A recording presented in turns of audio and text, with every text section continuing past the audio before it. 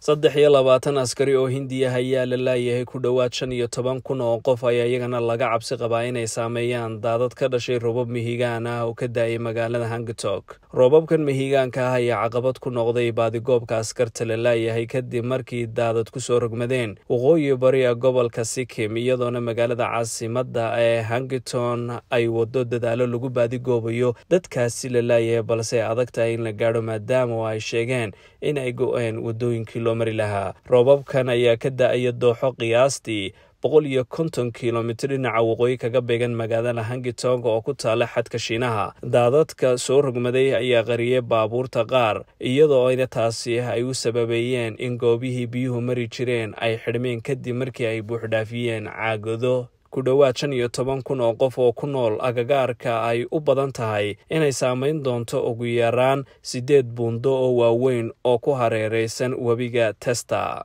Waaxda cimilada ee hindiya ayaa ka digtay dhulgo iyo carqaladayn dhinaca duulimaadyada ku yimaada iyaga oona roobab xooggan la saadaalinaya inay ka da'aan qaybo ka mida gobolkan uu hadda ku dhuftay roobabka mihigaanka ee sikim xamse xayd wararka lanta afka soomaaliga c b a t v